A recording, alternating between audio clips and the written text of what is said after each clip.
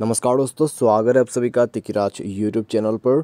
तो दोस्तों, आज के इस वीडियो पर मैं आपको बताऊँगा कि कैसे आप अपने Redmi Mi A2 पर कॉल वॉल्यूम लो प्रॉब्लम को फिक्स कैसे कर सकते हैं। तो दोस्तों, यहाँ पर होता क्या है, हम जो भी दोस्तों कॉल करते हैं किसी को, ठीक है? तो उसमें दोस्तों वॉल्यूम काफ़ी ज़्यादा लो होते हैं।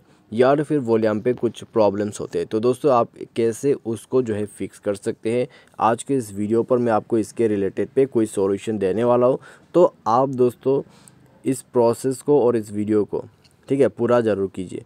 तो वीडियो को भी पूरा देखिए और प्रोसेस को जो है पूरा फॉलो कीजिए, तभी जाके दोस्तों आपका जो कॉल वॉल्यूम का प्रॉब्लम है, कॉल वॉल्यूम का इशू है, वो डेफिनेटली सॉल्व हो जाएगा। ठीक है? तो दोस्तों, वीडियो शुरू करने से पहले चैनल को सब्सक्राइब नहीं किया है तो सब्सक्राइब करके बेल आइकन को क्लिक करें। यदि आप ऑनलाइन पैसा कमाना चाहते हैं तो वीडियो डिस्क्रिप्शन पर आपको लिंक मिल जाएगा और किसी भी प्रॉब्लम के रिगार्डिंग पर आप हमें ट्विटर पर फॉलो करके मैसेज कर सकते हैं। तो चलिए दोस्तों, आज के इस वीडियो को शुरू करते हैं। तो दोस्तों, सबसे पहले तो हमें क्या करना है? हमें एक बार फ़ोन को जो है कट करके उसको रिस्टार्ट कर लेना है। रिस्टार्ट करके दोस्तों, नेटवर्क वगैरह को चेक कीजिए। दोबारा से कॉल कनेक्ट करके देखिए और अपना जो वॉल्यूम है, उसको इंक्रीज़ कीजिए, ठीक है? कॉल वॉल्यूम को इंक्रीज़ कीजिए। तो यहाँ पे दोस्तों आप जब कॉल पे होगे, तभी आप इंक्रीज़ करना, वरना दोस्तों आपका सिर्फ़ मीडिया वॉल्यूम यहाँ पर इंक्रीज़ होगा, ठीक है? आपका कॉल वॉल्यूम जो है, आप कॉल करते वक्त उसको इंक्रीज़ कर सकते हैं। तो वो कर लीजिए, उसके बाद दोस्तों सुन के देखिए, आपका प्रॉब्लम सॉल्व हो जाएगा, ठीक है? तो ये भी आप कर सकते हैं। यदि इससे काम बन जाता है तो ठीक है, यदि फुल वॉल्यूम करने के बाद भी आपका जो वॉल्यूम है, उसमें प्रॉब्लम आ रहा है लो है तो आप दोस्तों जाइए सेटिंग के अंदर पे, उसके बाद दोस्तों स्क्रॉल डाउन करके आप जाइए ऐप्स पर। ऐप्स पर जाने के बाद दोस्तों जाइए सिस्टम ऐप पर। तो यहाँ पे दोस्तों आपको जाना है मैनेज ऐप ठीक है? ना कि सिस्टम है मैनेज ऐप पर आपको जाना है। तो उसमें जाके दोस्तों आपको फ़ोन सर्विस पर क्लिक करना है।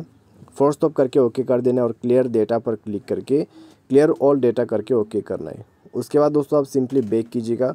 बेक करने के बाद दोस्तों एक बार डिवाइस को रिस्टार्ट करके दोबारा से चेक करके देखिए।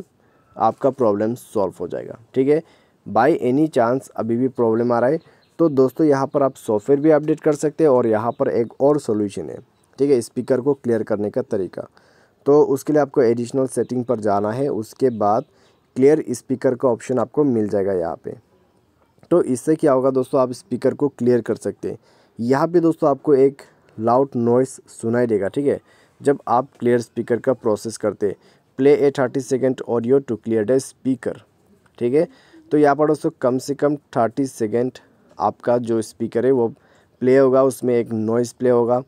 उसके बाद दोस्तों आप यहाँ पर देख सकते हैं क्या क्या बता रहा है। Run this run this feature once or twice if you find that your speaker is lighter blocked by dust ठीक है? तो आप इस तरीके से इसको यूज़ कर सकते हैं। यूज़ करने के लिए आपको यह बटन इनेबल करना होगा, ठीक है?